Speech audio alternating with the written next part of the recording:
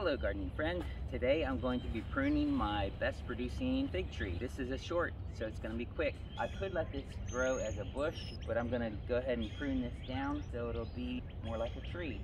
And I'm going to keep the middle of it pretty open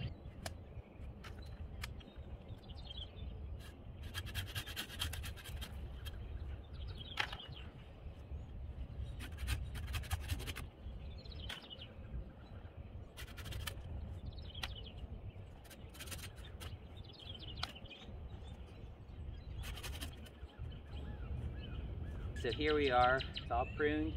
This looks a little drastic to you. My wife and I have been cutting each other's hair because of the COVID. We figure if you make a mistake, it'll grow back. Or if you make a mistake, you can always just cut it a little shorter.